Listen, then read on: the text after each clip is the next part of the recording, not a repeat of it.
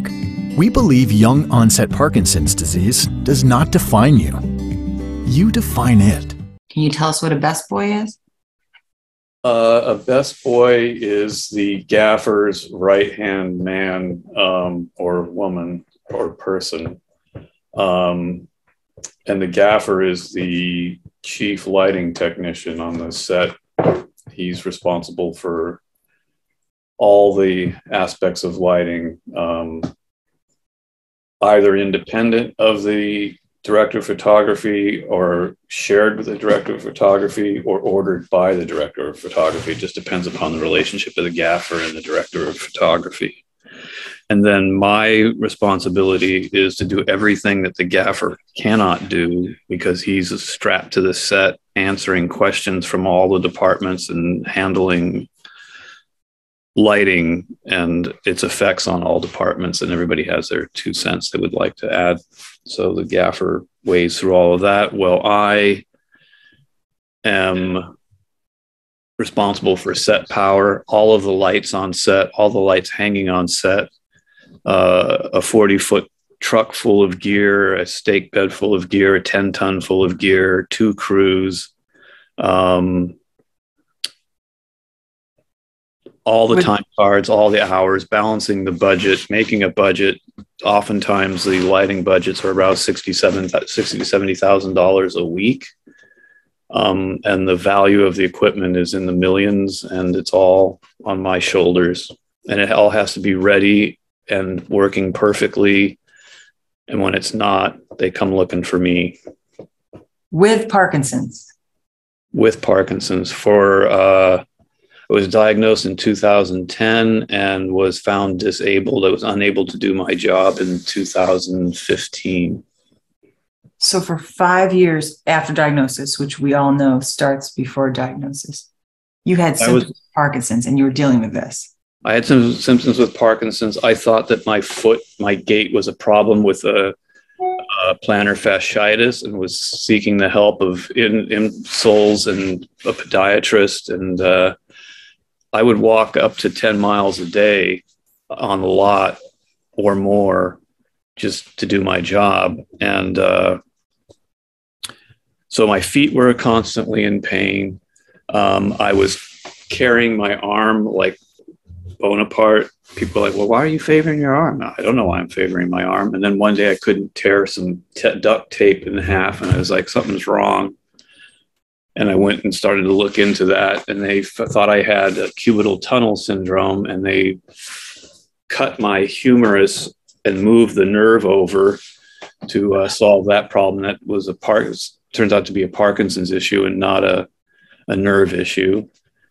And when they finally, after almost two years of looking, they sent me to a neurologist who looked at me and in five minutes said, You have Parkinson's, and handed me a video, a little DVD called How to Live with Parkinson's, a little cartoon family on the front of it, and a, a sample pack of Mirapex and said, See you later. There was no discussion of like, what does that mean? Like a Family Guy cartoon. Yeah, like a Family Guy cartoon. Exactly. Like exactly that. Um, so I didn't tell anybody at first at work because I wasn't sure like how it was going to go over. And then I told my my boss, the gaffer, um, that I what was going on. He's like, "Well, we'll just we'll just if as long as you can roll with it and no one can see, then it's fine. And eventually I told the crew and they all kept it to themselves. And then I, I was working on Brothers and Sisters when this happened. And uh, I finally told production and they were really supportive. I hear that you are a good poet and that you've been doing it since you were a teenager. What is um, your yeah. biggest inspiration in your poetry? What do you like to write about? what is my biggest inspiration in poetry? Well, Dylan was was the biggest inspiration for the longest time, and and now I've been uh, taking these workshops and and studying the uh, the the people around the beat movement um, and their various ideas, like Ginsberg's uh, American Sentence and uh, Charles Olson's um, projectionist or projection theory stuff. It's really heady stuff, and I can't. I'm not really good at explaining it. I um, what inspires me to write just usually just comes to me, and um, I've been writing a lot of like flash kind of fiction poetry stuff that's very short and tells a story, but is is po- is poetic. And I've also been doing what's called lyric essays, which are kind of poetic essays. They mix sort of fact and fiction sometimes. Um, and if I might just interrupt you briefly here. Sure. I have heard some things that Miguel has written that made me wonder why I bother writing. They're the kind of things where you drop what you're doing, you forget that you're standing there listening, and you're so in the story that you are transported physically into the body of the narrator. And I, I rarely have that experience. And I listen to a lot of writers and I do a lot of writing because I, I call myself a writer. and then I, I listen to you and I'm just like, what? What you read at the show that we worked together at in LA recently was just mind boggling. He said, and I quote, You're washing your hair with sand. Can you talk a little bit about what you meant by that? You're just being futile. You're, you're, uh, it was about people being sort of taking the Hallmark card route towards Parkinson's and not just laying it on the line and telling the people what it's really like to have it or having doctors not really telling you what to expect. There's this sort of like fear of i mean you know it's a it's a no happy ending disease. It's, it's, it's, there's no happy ending. So why do we have to pretend about this? It doesn't mean we can't be happy and find joy but why should we be untruthful and un- dishonest about our experiences. Um, and that sort of brings me to what I'm really surprised about is for most most idiopathic uh, Parkinson's is probably caused by some sort of toxin or uh, unclean environment. And uh, if that's the case, why isn't Parkinson's at the forefront of the environmental movement? Why isn't the environmental movement behind people who have Alzheimer's or uh, Parkinson's or other kinds of diseases? And why aren't we banding together and just like not allowing these companies or these that make these toxic chemicals and dispense them with impunity Yes, you in front. Mike. It must be me. Okay, I'm Mike. Um, so Miguel, talk a little bit more about the toxins now. Were you exposed to trichloroethylene? I was. I used it daily for eight years. It was carried in the aircraft as a as a troubleshooting uh, device, and we use it to wash our hands at the end of the day. Um, it was constantly used. There was nowhere you could be if, the, if there was a plane being worked on or a helicopter being worked on. TCE or trike or trichloroethylene was present at all times. Now you're in the military. Yeah, I was in the Coast Guard for ten years. Where were you stationed? I was stationed in, out right out of boot camp. I was stationed in New Orleans, and then I got uh, to go to my school, my training school, which was an aviation electrician uh, school in Elizabeth City, North Carolina. And from there, I went to Puerto Rico and I was stationed there for four years. And then I was sent to Los Angeles and I was stationed at LAX for four years. Do you know the military has? Uh, I've talked to many people in, mil- in the past military who have, have used trichloroethylene. And they have Parkinson's now, or cancer, even worse. Right. Well, I, I could end up with cancer. It doesn't. The funny thing is, is we we have Parkinson's, and we think, well, maybe we're not going to get anything else because we've got that one thing. Take we got that slot filled, you know. But it doesn't mean we can't get something else along the line. And yeah, comorbidities, and right? Pardon me? Comorbidities are common. Comorbidities. He's Yeah. writing it down. I'm still trying to figure out this trimethyl. Blah, blah, blah.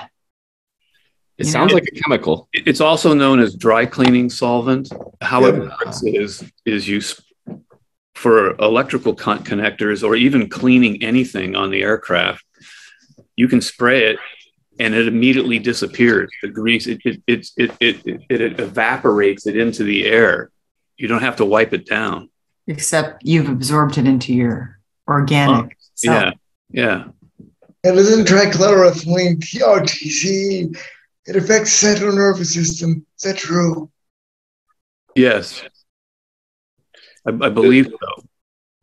Does the military recognize it as a uh, for for disability purposes? it finally just recognized it with this new pit burning uh, bill that came out, and it, but it only recognizes it at, if you've been stationed at Camp Lejeune Yep. up to one day, like as, as, as little as one day to as long as X amount of time from the 50s through the Late know. eighties. late 80s. Yeah. And it's only if you're at Camp Lejeune because it's in the groundwater. So you would had to have ingested it. That's the only way. And if you if you if you work in a work environment and it's around you, they haven't approved it. So you have to f- legally fight them for the uh, for the claim. And I'm in, I'm in the process of doing that. I lost my first claim, and we're we're uh, appealing. And it'll probably lose again, and then it'll need to be appealed. Like I think it's like it's like three to four times you have to do this. It takes a while for it to to go through. Yeah. Um, you know, I, I think the VA is a is a is a very important organization in our country, if, especially if we're going to war all the time. We should we should support the troops with all the health care and everything that they need. If they're if, and I think they're trying their best, but it's a really uh, uh, what I want to say. It's a it's a boggled down bureaucracy. It's it's a little hard to move quickly through it because everything has every there's a rule for everything. Right. Now you'd mentioned that um, there's not much uh, done between these chemical companies and the environmentalists as far as keeping this stuff out of our environment. And what what do you think can be done about that? What what do you have in mind as a solution to help stave that off? I, I think that think that organizations like Michael J. Fox and the Parkinson's Foundation, the APDA, and all these others, they should all join the environmental movement. They ins- instead of just having 5K runs for Parkinson's, they should have 5K runs for, you know, uh, fracking or or for um, uh, the the water in Detroit or where you know. Uh, Where I'm from, I'm from Flint. Yeah, we we uh we had our our, our water completely destroyed here. Our our public supply was uh full of lead and many kids had their lives completely destroyed by it. So I, I like that you actually threw Michigan in the mix. We could use some help for sure. Where's Erin Brockovich? I don't know. We've got, we've got Miguel. We're good. Miguel. Miguel has a cast of characters that he calls friends that are amazing. That I had the great opportunity to meet when we were doing the personality crash for Safi in LA. Can you talk a little bit about where you've met some of these people? For example, the guys that also do similar things to what you did, and how they see your Parkinson's or how you perceive them to see your Parkinson's, like how your friendships have been. Well, I met uh, I met Dave on uh, it's Dave Slodky. I guess I can say his name. Um, I met him on a Japanese production called uh, Blue Tiger. It had Virginia Madsen, Michael Madsen, and, and Harry Dean Stanton. I was blessed to have met all three of them, and in particular Harry Dean, who is one of my favorite actors. Um, so we met on that show. I met uh, I met Stefan on a show called Inferno, which was a Jean Claude Van Damme picture being shot in. I got I went out only for two weeks. They were shooting at night in the desert, and he and I had the just a ball working on that film because it was it was just nuts. And uh, they had a scene where they had this like F-18 fighter jet flying just above the telephone poles down a highway, and we were supposed to clear the set for that, and we weren't we weren't supposed to be allowed anywhere near where this was going to happen in case there was an accident, and we we hid so it would fly right over us. And not only did it fly right over us, it, it went like this, just a, almost directly over, not over us because we would have been burned, but oh. very close and very exciting. Um, Stefan's a great, a great fellow, as, as is Dave. And uh, I don't know where I met David Kagan, but uh, we worked on some. I went to uh, Santa Fe, New Mexico to work on Thor and went to Detroit and stayed in De- Dearborn to work on a show called Jimmy P, a French production with Benicio del Toro and Mathieu Amalric. Um, so, does that answer the question? Yes. And thank you for taking me to the set of it was Bob Hearts Abishola yeah, that was wild to watch how many takes are done on some of these sitcoms. I didn't realize that there were 45 people in the room and that these actors are trying to stay focused with things moving all around them. It was like a swirl to watch them break down the set like that and put the lighting back up and change everything and focus on the lighting was fascinating to me. Um, I can't believe the amount of work that goes into that. So, yeah, it would be hard with Parkinson's. So, when were you diagnosed exactly? 2010 around the around the new year. Okay. Um, yes. I was going to say that when we start talking about the movies and the people that you know in the business, your eyes lit up. what was it like to? How'd you feel when you did when you had to retire? When I had to retire, um, it was hard because we work usually no less than 12 hours a day and and easily between 14 and 16 hours a day from start to finish and when you're on an episodic TV show which is most of what I've done you're working with people for 6 to 9 months and then all of a sudden you know you, you develop these friendships um, and your people skills are, are actually the, probably more important than your technical skills because you have to work with these people. You basically they're your family. You don't you don't see your family when you're working on a film or a tv show. You, your family is the crew because that's who you're spending all your time with.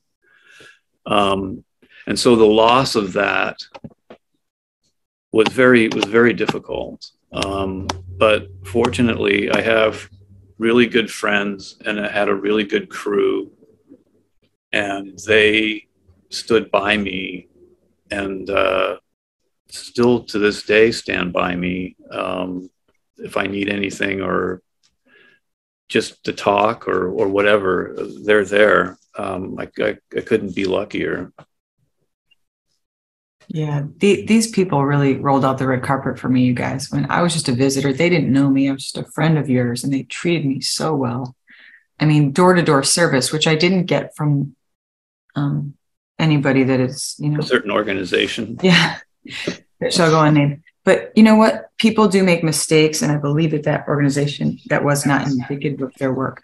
But I will say this: to be there and watch Safi's work, and for everybody who's listening, it's called Personality Crash. This woman took care of her father for the last year of his life. She'd also documented it. He had sundowners, he had dementia, he had Parkinson's, and she she did this with great she allowed him great dignity. It was a beautiful piece. And as we were standing there, I was just sobbing looking at these images. And she had this, what was it? This um, audio? Yeah, she had an audio uh, portion to the exhibit that you, as you walked past certain photographs, you would key this device and you could wear a headset and that would play, she would read from her journal entry that related to the photograph or photographs in the area of the of the sensor which makes us wonder though, why aren't we talking more about this? Are we afraid to talk about the end of life? Are we afraid to talk about caregiving and how we might need help someday? What do you I am. I am. Absolutely. I'm- Get Miguel to your show. no, it's your show. right. Um, I don't know who's more afraid, us who have Parkinson's or those who care for us. I think that the people who care for us are more terrified by it than we are because we, we have we have to look at it. We we can't. There's no for there's nowhere for us to go, but but through it. And uh, but people who care for us, they they can stop coming around or leave our leave the relationship or um, you know deny what's happening and not that we have i mean i, I denied for for a while my parkinson's. Um, but uh, the fact that our medic- medical system doesn't have long-term care written into it like to, to get long-term care in california i think you have to be you have to have medi-cal. And uh, which means you have to give up all your assets to the state so they can take care of you i don't know what it's like in other states but i don't imagine it's much better or it could be even worse um, unless you you know take out a policy for long-term health care which are, those are not cheap i understand um, Yeah. if we're not if we're not going to do anything about changing the environment and making it less toxic and reducing the numbers of us who are going to be coming down with this disease as they, they're saying it's on the rise right that's Pandemics. It's a Yeah. pandemic. yeah so if they're not going to do anything at that end they better start doing something at the other end and and and take care of us and you know in the end game i think we have a lot of uh just have to roll up our sleeves and have several battles in front of us from legislative to you know various addressing various policies that are not good for our health. In Massachusetts, we have something called Medicaid, Medicare. I'm on Medicare now. Medicaid is you have to have no assets, like two thousand dollars in assets. So if this gets too bad, we talk to talk to a lawyer. He set us up my wife's gonna have all the money in her name. I'm like, I'm gonna have two thousand dollars in my name, so I get state care that way. So it's the only, so it's, it's the only way we're going to get by. Yeah. And, and, and hopefully, fingers crossed, those policies don't change in the next Yeah. five years or 10 years. Because, you know, as we're, as we're seeing, and, and I'm not making any political statements other than the fact that there's just a lot of policy change going on and, and we don't know what's going to happen and the, the economy is kind of questionable and um, there's just a lot of question Why would we be anxious or have any depression? We get hit chemically and we get hit causally. So outside of us, things are beyond our control. Inside of us, things are beyond our control. Can Yeah. you talk about the process of having to let go of control of anything and everything? What does that feel like? I, I I've had a hard time with that. I mean, I I, I start I'm I had to work really hard at not being a backseat driver. You know, um, and to try and control I try and control everything. That's that's what I that probably causes me the greatest amount of anxiety is getting involved in trying to control everything. But I'm learning slowly that uh, letting go of that is the best thing I can do. Um, then you can just relax. And most of the stuff is just is, is not even worth your time thinking about, but you don't know that until you, you're facing it. And Right. Parkinson's is, is a it's it's such a it hits on so many levels and you know I don't know if you guys have this experience of going to the doctor and they're like, "So, how you feeling? What's going on?" And you start to run down this list, and you can see the doctor's eyes kind of glaze over as it's more than more than two things. It's like, you know, I've got this, I've got this, I've got this, I've got this, and that's just the the the non that's just the motor stuff. We haven't got to the to the cognition to like the mental issues that are happening, and and it's it's I often wonder why anybody becomes a movement disorder specialist because it just seems to be kind of a masochistic role, you know. Um, and that brings me to uh, we had a discussion at, at, at the uh, exhibit, the personality crash, about palliative care, and the fact is is that from day one from the day you're diagnosed till the day you pass it's all palliative care that we don't have anything else but palliative care to be offered parkinson's people. You know you have that and hospice. Those are your two choices. I think it's all the whole neurological area everybody with a neurological illness is going through the same thing. Yes yes. Agreed. Als and and, and such yes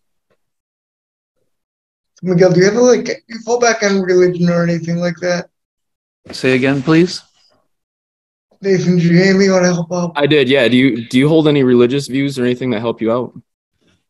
Um, I'm a, a dabbler in Zen Buddhism and do a lot of uh, meditation and breathing exercises to help kind of keep my mind from wandering into places it shouldn't go.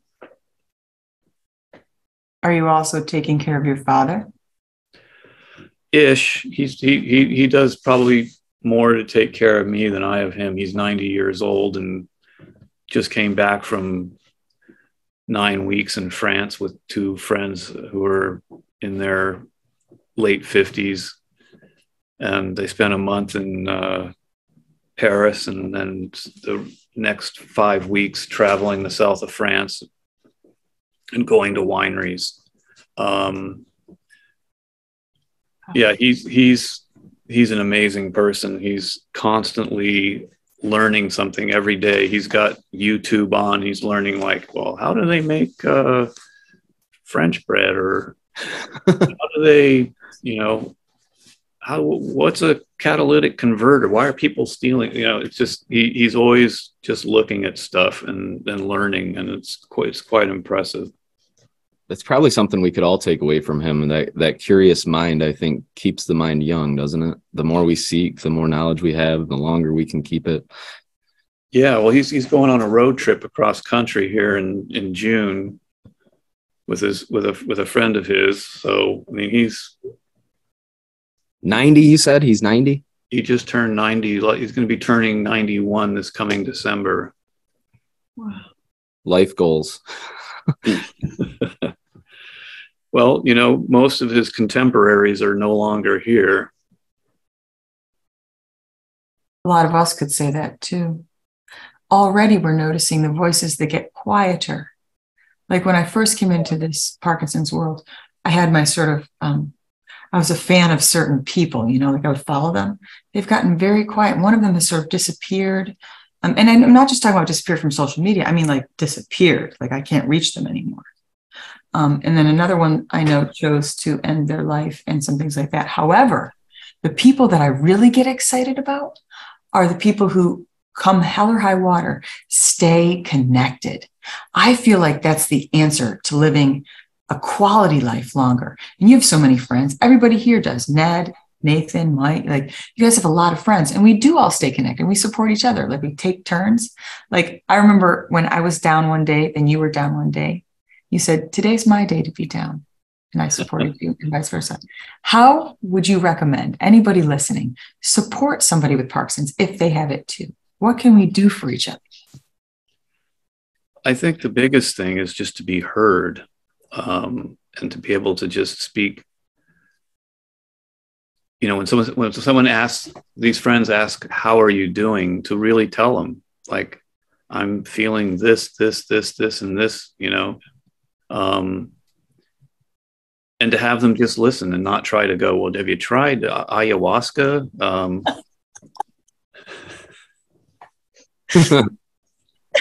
All these housewives in their kitchens having ayahuasca ceremonies are help, helping us any. but you know uh, it people are well intended but i don't think they realize you know how many times we've heard the offered solution you know for our condition um, i i just smile and say you know yeah that sounds i'll look into that because it just it ends up not being worth trying to say well nobody really knows how well turmeric works or Like, no thanks, I had an aunt that died the same way. right Like, what do you say? You know, what is the most outrageous thing that you've had someone tell you? Like, as an example, just think someone's told me like to help you with your Parkinson's. Was it from a doctor? Oh geez that's that's a tough one um The word help was definitely in air quotes. well i, I guess I, I can i don't know about the most outrageous thing but i don't think people realize that uh unsolicited advice is criticism Hmm. and that maybe they they should they should not offer advice to somebody who's got a chronic degenerative incurable brain disease and has had it for a little while that they've probably already been down all of these roads because that's how we all get to where we are right now. We've all ran down those roads of well will this help? Will that help? I've heard this will do it. I mean we want to live. We want to be cured. We're we're we're not sitting idly by as this disease progresses. We're trying to find something that will make us at least comfortable at the minimum comfortable and that is a that is a daily battle yes I just want to throw this in there. Right after I had DBS surgery, out to play cards with my friends, and one of my friends is not that bright. He goes to me, Did they get it? I'm like, What are you talking about? Like, did they get the Parkinson's? Uh, he, like, he thought they had to go in my brain and take something out. well that would be easy wouldn't it that would that would that all it was just a matter of going in and cutting it out Wow. That just speaks to what the layman's view of this disease is. People don't understand. And from their perspectives, of course, people want to help. They want to give us advice that they think is useful. It's unfortunate though that that advice comes from a, a faulty perspective. I, I remember myself before Parkinson's. I would probably try and give somebody with Parkinson's advice. Now, being in this mode, I would never, uh, and, unless they came and asked me, of course. Just because I've had that happen so many times, where people just they know it all. Uh, you know, uh, you've never experienced this brain disorder one day in your life, don't know anything about it, but all of a sudden you've got diet tips for me. I, I don't understand where it comes from, Yeah. other than it's they're trying to help, but the perspective is just not there. I read an interesting article once called "How to How to Not Say the Wrong Thing," and the gist of the article was the person with the malady is at the center of a concentric group of circles. The closer you are to that center, the more you can do something other than offer um, care or uh, you know um, just support.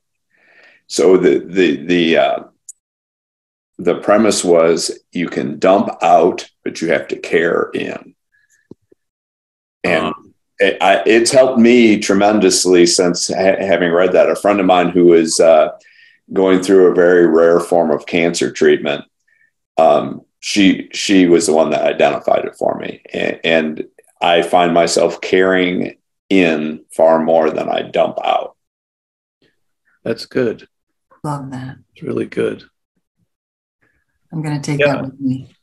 I think um, it's also just important not to be afraid to ask for help. I still, I mean, being the jobs that I did in in the film business required me to solve almost all the, you know, this- you know work on my own and solve the problems on my own. Um, they had my crew had this joke that says, "I am Sanchez and I need no help."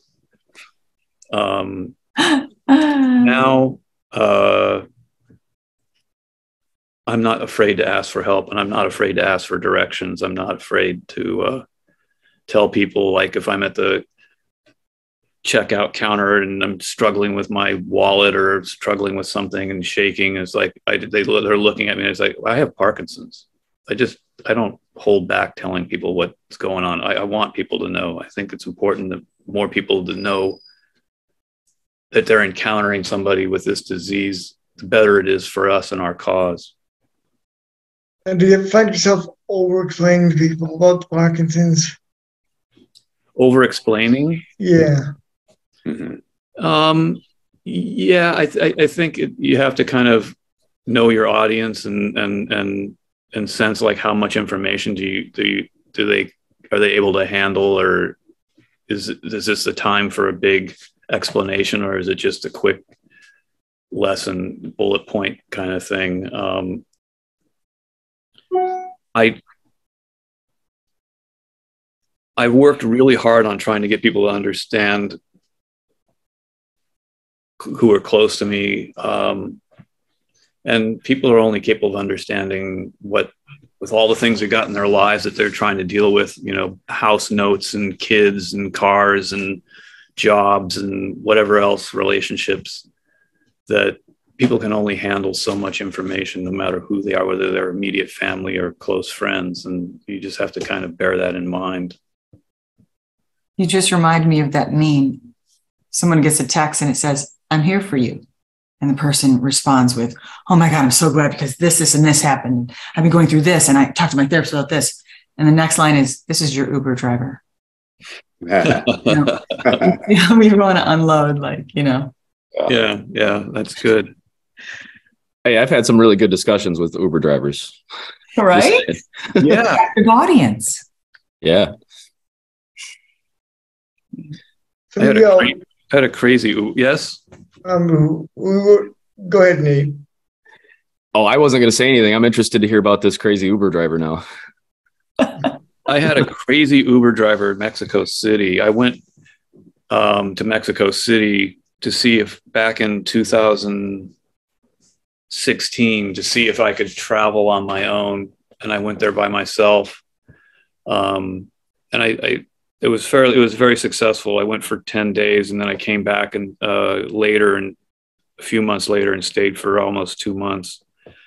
But um, I got this Uber ride back from the Museum of Anthropology back into the uh, historic center of town where I was staying. And this guy was driving crazy.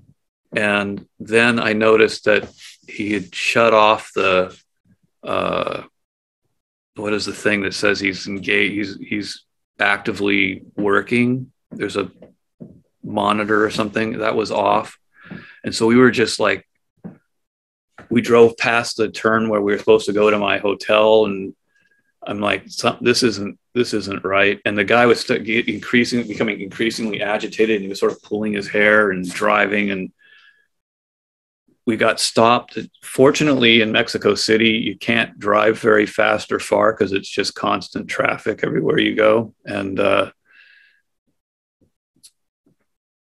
we were we were stopped in traffic, and I looked up, and there were two federales in full body armor, foot to head, with with M16s, and I just opened up the door and ran to them.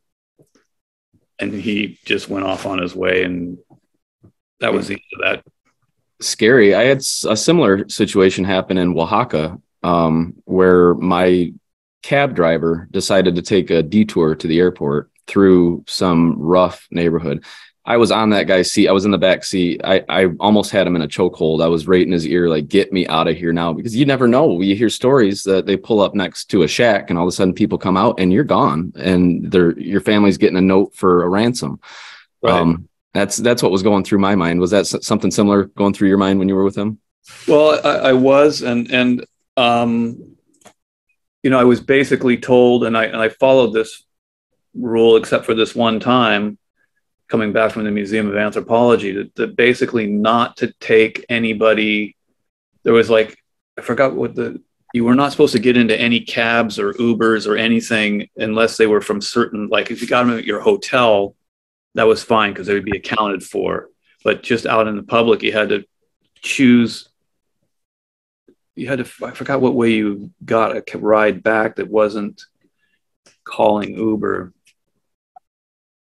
I think it was certain cab companies or two cab companies that were reliable. That, you know that they wouldn't. You know, somebody didn't just paint their car to look like that company or. Um, yeah, that I was in Oaxaca and uh, for for Day of the Dead.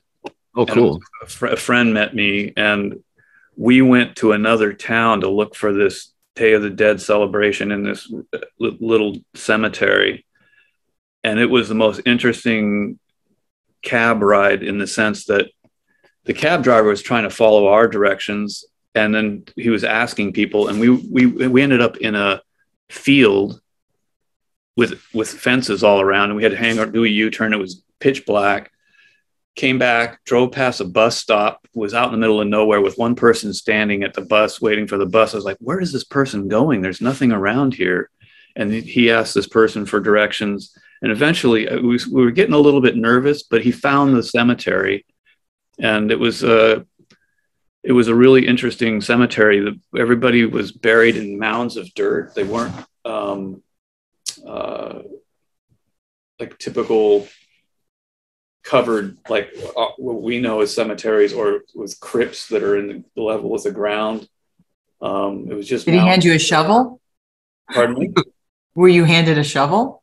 No, but there was a there was a there was a dog and a very very old couple who were going from grave to grave, sweeping them and putting flowers on them, and uh, it was it was surreal, um, and it was worth the trip and the and the crazy, not sure where we're going cab ride. Now that sounds like a Fellini film. Well, how did you like Oaxaca? Did I, I really liked Oaxaca?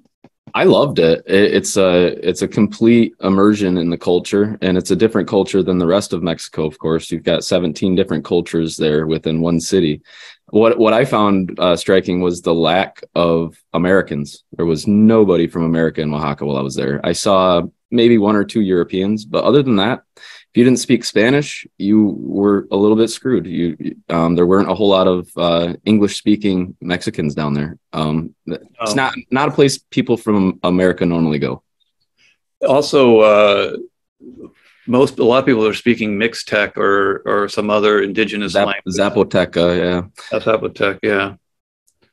And they have a they have a kind of a matriarchal society. Um, I went with a I met a friend while I was there. I wasn't I wasn't totally alone. Um, and uh, she had belonged to this organization that loaned money to indigenous women to start businesses.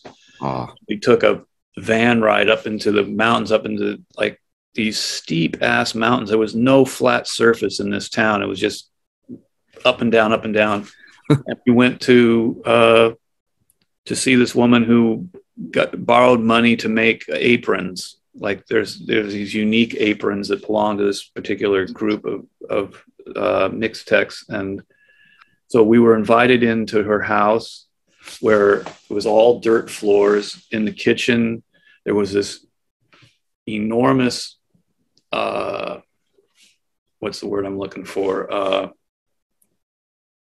where you, you pay homage to the dead. It's like flowers and candles and um, altar. Altar, that's the word I'm looking for. This altar was gorgeous and took and, they made us hot chocolate and they made um, i think they made like some kind of quesadilla or something but these people had nothing and they gave us hot chocolate and quesadillas and it's just like exactly. That's the culture that you run into down there. The, they they have everything actually more more than what we have. We're talking about material goods when you take away all the material goods in a society, they they tend to have much closer connections with yeah. each other. Um, and that's one thing I noticed. We so I went down there with a group of uh, trainers, other people who have Parkinson's, and we met up with Susan, who runs the Par- Parkinson's outreach in Oaxaca. Um, and we worked with them for about a week. And the most giving people in the world. And just like you said, the floors were dirt. They had nothing, but we had a meal every day with the family. We had a, a parade thrown for us. They told us we were going to go for a walk, and these people showed up in dresses with big, huge pinatas on sticks, bands. Everybody was dancing. There was a mezcal distributor that was handing out shots to people. It was just a party, and literally for no other reason than that we were there. That's the only reason they threw the party. Is the coolest, coolest, coolest atmosphere I've ever been in was in Oaxaca for sure. Was that with Gavin Mogan? It was, yes. He was my roomie for that trip. Miguel, you have to meet Gavin, by the way. Note to self. I need to meet meet all of you. Um, I would love to go down to to Oaxaca and work for a Parkinson's organization. That would be awesome. Yeah, I'll put you in contact with Susan. She's got some good stuff going down there. Um, they have an outreach that that really impacts their community because there's nothing else. They don't have any other resources down there. So she's opened her doors up for exercise, for social gatherings, for just about anything. So Susan is a, a psychiatrist by trade, and then she has Parkinson's herself. Oh, wow. And what you what you what we're talking about about the family environment what i witnessed with her family was just magical her son basically um, runs everything um, as far as the family goes. He was darting back and forth, running things from mom to dad, making sure that she was good, dad was good, that all of the things were basically he was the gaffer for the entire um, time that we were there. Um, so it, it it was cool though also to see the other couples who showed up. And there were people who were there by themselves, but we had the most beautiful couples um, and i'm friends with some of them now on facebook. It's cool to to to see their pictures and whatnot but i remember watching the caretakers and they were absolutely enthralled by the teaching. They were learning as much as they possibly could to take what we were teaching them so that i knew they were going to take it home and actually work on it with these people. Now i don't get that sense a lot of times when i work with people up here in the states I don't get the sense that their care partner is as involved as what I was witnessing down there in Mexico. I think it's a cultural aspect. I, I, think that there's just something ingrained in the culture down there that is way better equipped to handle chronic illness within the family setting than what we are in America. Well, I think you, you hit the nail on the head back when you said that when you have no material things that you have to rely on each other in a in a much deeper way than than you would if you had everything at your fingertips. And from that aspect, it's almost seen throughout the world that America just has it made and we've got all the resources in the world. But in this regard, those resources are detrimental, right? Right. Right. Yeah, the um I have a friend who's an ICU uh cardiac ICU nurse, and she volunteers to do work. And she's gone to Mexico. She's gone to. Uh, she went to Puerto Rico when they got hit by Maria. She went to the Bahamas when it got hit by I don't know which one it flattened the Bahamas, and then she went to India. And she says in all those scenarios, just even just giving a person a, a, bottle of water, if that's all you could do, people were, were very grateful. Where like here her, her encounter would be like, how come it's not Evian? Mm-hmm. Yep. But it's the opposite of the border control. People used to take water away. Yeah. Where's the humanity? Back to Parkinson's briefly here. Where's the humanity in our medical providers? What oh, happens? Are they just down that road? You know? But but another question would be what can you do right now about things like that? Can you change doctors when you're not happy with your doctors? Can you change- you should always change doctors if you're not happy with your doctor. That's mm-hmm. that's absolutely key and what for whatever reason it might be um you know i uh i got a neurologist fairly recently and in my intake with this neurologist he he had, had he had an intern with him. The you know, do you mind if the intern sits in on the intake? And I was like, no, bring him in. And so the the intern sitting to my left and the doctor sitting in front of me to my right, and he's got his head buried in the computer and he's typing down everything I'm saying, and he's he's doing a, a, a really good job. And then he does, you know, runs you through the hmm. thing. Chicken and-. Yeah, runs me through that, and then he breaks out the little little rubber hammer that you hit to see if your foot's going to kick out. He does that, and he starts to put the, the little hammer away. And I said, "Hey, Doc, I, I think that thing's broken. I think you, I think you need to get it recalibrated." And the intern started guffawing, and the doctor turned, looked over his shoulder at me and said, "I have no sense of humor." uh, then I, you know, I was like, I don't know if I if I if I want to work with this guy because you got to at least have a sense of. I mean, if I can have a sense of humor, Doc, you should be able to have a sense of humor. But then I I realized this was just after the COVID lockdown had been kind of eased up on, and I thought maybe this guy's just been through hell with this COVID shit, and and he has no sense of humor, rightfully so in that case. Just want to add, what do people have to drive three to four hours just to find a neurologist do? They can't change us like that. Yeah, the, the the only I think the only really really good answer for that is the telemedicine. The the that stuff is you know, you know and if you have if you have DBS, and I guess you would have to get one of those remotely programmable Wi-Fi, you know, thingamabobs um, for that to work. That- That's really hard. Uh, I have a I, I'm living up in Napa. I'm down in LA. Came down to LA for this event with it uh, with uh, Heather. But getting any kind of help in LA, I got to drive into SF, San, into San Francisco, or down to Berkeley, or over to you know. Uh, I got to drive at least 30 miles to get a uh, movement disorder specialist. And that's that can be kind of harrowing depending upon where you are in your in your on and off period and you know just how you're feeling or maybe you're feeling sleepy because you know your medicine's acting a particular way at this particular time you, you know. Those are difficult things and and, and yeah and, and you know also in what you're speaking with they're reducing the amount of rural hospitals and rural care facilities are being cut back. It's like I, I don't know what these poor folks are going to be doing. They're going to have to drive or fly to get real help. That's that's horrible. Sounds like a great plan after a pandemic. What is it? What is it brings you joy lately? I just was curious if you're having any highlights. Yeah, if they want to talk about it, good call. Joy. Well, I went out with. Uh, you met Candace and uh, Carrie and Dave, and so we went out last night for for dinner. Hilarious. which was just a hoot. And then we went to a bar, which was even more of a hoot. Um, hanging out with my friends gives me a lot of joy, and talking to my friends and doing stuff like this, I get great joy. I, I get a lot of joy, and I would like more people with Parkinson's in my life. I need. I, it's hard for me to gather them up, and uh, that would be really joyful. Writing and and taking pictures is joyful being outside in nature is joyful. Seeing my grandson is joyful. Um, Grandson.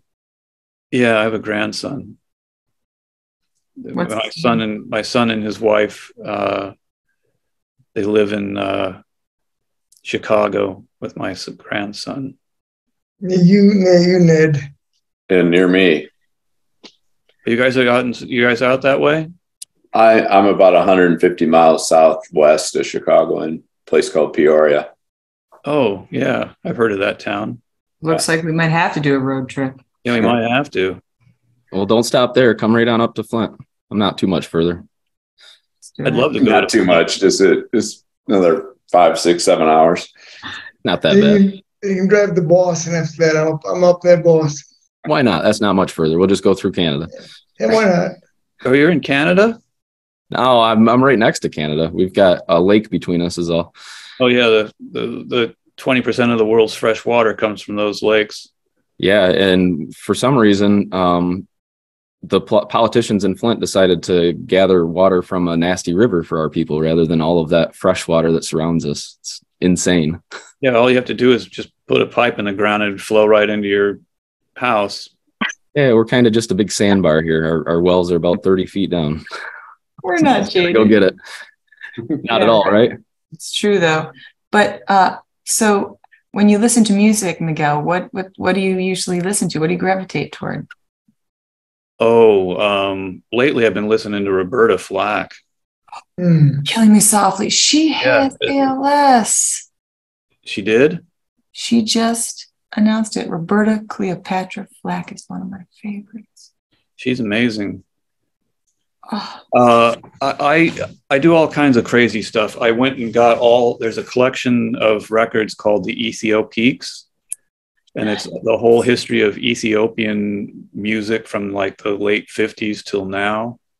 And Ethiopians got some serious stuff going on with their interpretation of sort of rock and roll and jazz, and then their own, you know, uh, country's influence on on the you know, traditional music influences. It's really great stuff.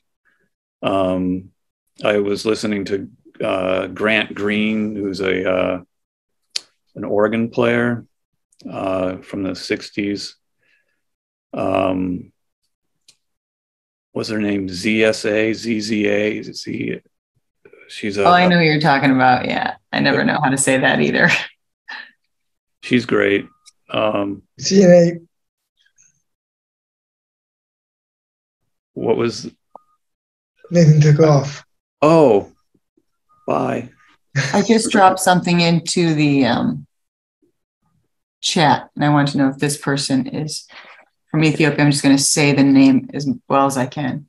Uh, The song is Tizita, which means nostalgia, apparently. Mulatu Astake. Boy, did I butcher that name.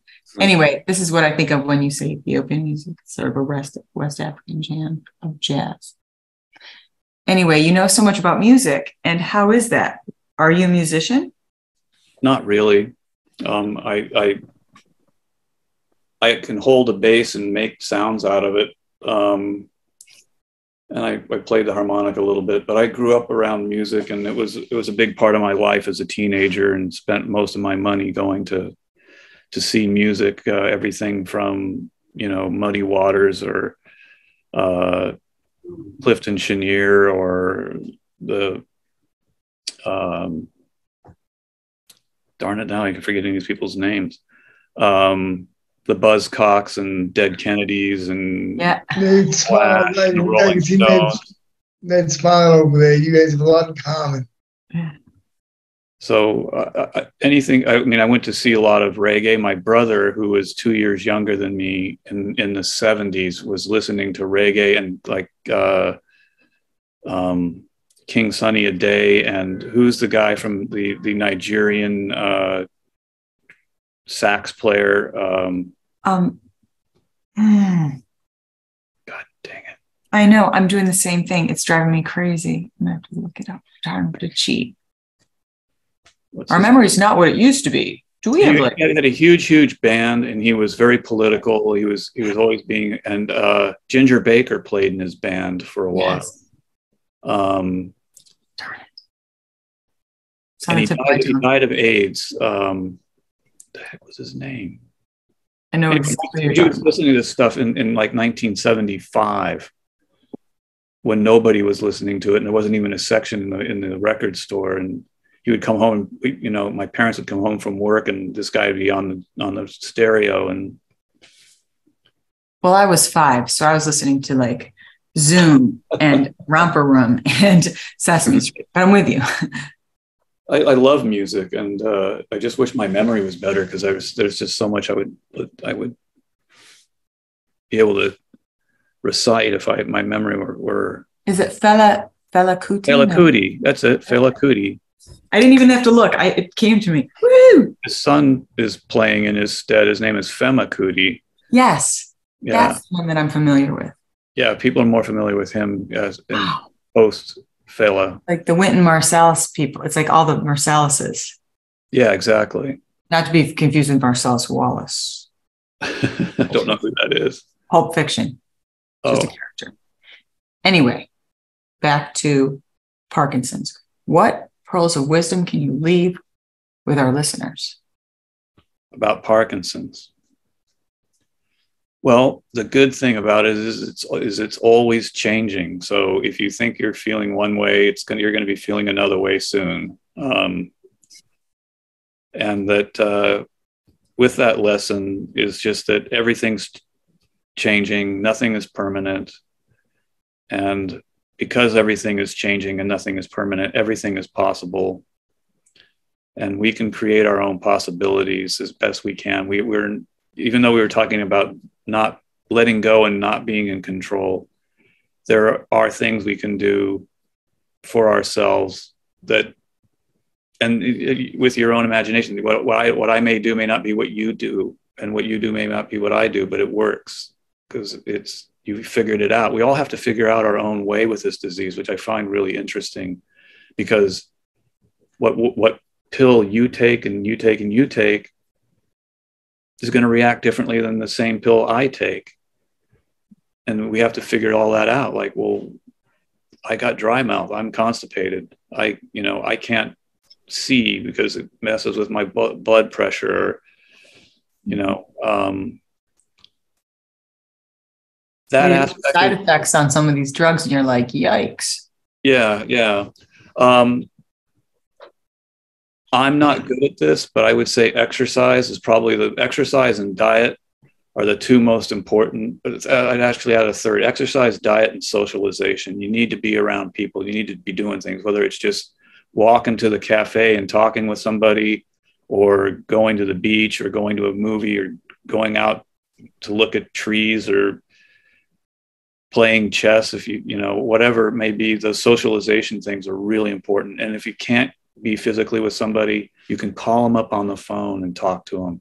I've, I can't tell you how many times I was in an anxious state and just getting on the phone and talking to a friend and not just going, I'm anxious, help me, but you just, the conversation eventually moves into something that's got nothing to do with anything. You're talking about some, remember when we went to the movies and that person spilled popcorn on your head and, you know, you're, you're, you've now been taken out of your head and out of your body and and you're you, you, for a moment you forget that you have parkinson's just for a moment. And that moment is worth so much.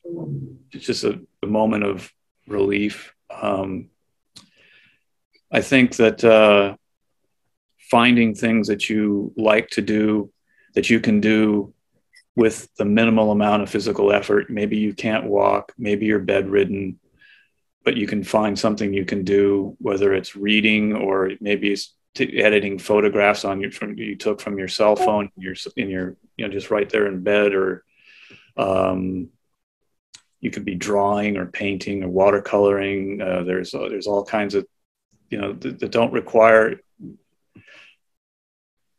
I started doing some drawing and I was having like, like what's going to happen when I start when my tremor comes in and I'm drawing. It's like, you know what? I'm going to let that just be part of it. That's my technique. Wow. The shaking. Why not let the shaking be there if you're if you're shaking and you're drawing? Let just let it be. It's it's who we are. Um, it's a technique others can't do as well as us. Heather, you think you get along with Gavin? Oh my gosh. These philosophers would spend like we wouldn't be able to pry them apart. In fact, Miguel, you have a lot of people to meet. I really hope and wish that you could come to Barcelona for the World Parks. That might be a little overwhelming at first, but there are other engagements coming up. And I, would, I, I look forward to interacting with all of you because I, I just, uh, yeah. It, it's just so need important. you. Is it physically connected and and and to see everybody in person? Before I got off of social media, before I got off of Facebook, I was making an effort. I was, had plans to meet all the people I was friends with that I didn't actually meet, that I just I met on Facebook but didn't know them. And I got as far as uh, Stosh Machek, who you met at El Compadre, and how we met. He had a his own uh, poetry uh, Facebook page called Stir, and you had to be a member and be approved to get in, and you know know the secret handshake. But um, he was suffering a toothache. He had a cavity or needed a root canal or something. He was just in immense pain. I was like, "Do you need me to take you to county or take you to, to the ER or take you?" He's like, "No, no, no, I can't do any of those things." I said, "Well, why don't you give me your address and I'll come over with a fifth of whiskey and we'll solve this problem." And so, uh, sure enough, I went. That's how we met. I came to his house with a fifth of whiskey, and he numbed his tooth, and we had a great day. And you ripped it out. No. No, no, we didn't rip it out, but he didn't feel any pain anymore. That's so cool. We can only do what we can do. Yeah. That's old school. Yeah. Yeah. I read someplace, I, I, I have not been able to reconfirm this, but I re- had read that prior to modern dentistry, the leading cause of suicide was a toothache. Oh, Think about it. wow. Alrighty, guys, we've had them for over an hour now. Are you on any social media at all? no. But I think I'm going to have to change that. I'll, I'll put my number in the chat call, call right now. If you want to call me, call anytime. Okay. How did we get so lucky to meet? All we have in common, the four of us, is a debilitating disease that's progressive. Yeah. Yeah, look what we have in common. Look at all the interest here. Look at, I could talk to you guys the rest of the day. We wouldn't Yeah. be bored. I feel like we're sitting around a campfire, you know? Yeah. Except I hate marshmallows. Yeah, who brought the It's the only, it's the only food I don't eat. I'll eat anything but marshmallows. Anything but marshmallows. That, Yeah. That's one of the greatest statements I've ever heard. I'll eat anything but marshmallows. Speaking of toothaches. Thank you so much for your time, Miguel. Thank you guys. And uh, hopefully I didn't uh, get anybody in trouble by naming names or saying things. But uh, I think you got a title for this now, Mike. I'll eat anything but ma- but marshmallows. Great, ti- great time. I approve of that title. What, but whatever you guys come up with is, you know, uh, I trust you implicitly. However you edit this and put it together, I'm sure it'll be just fine. And and uh, you guys were really great to, to hang out. I, I felt very stream of conscious, able, and uh, I like that kind of thing. You guys are great. I hope to meet you in person sometime. That would be awesome. Hopefully. Yes. All right, Miguel. So, you know, Nate, Nathan just sent me a quick message. He said, You're a cool guy. He loved meeting you. Oh well, thank you. I feel I feel the same about all four of you, except you're not a guy, Heather. Kind of am. You guys are really great and really cool, Thanks. and uh, I Thank still really felt really comfortable. Thank you so much. Thanks, Miguel. Thanks for your story. It'll be out in a few weeks. Good. Okay. I'll, I'll let you know before it goes off. Thanks. Thanks, guys. I'll see Take you care. Bye bye. Living well starts here.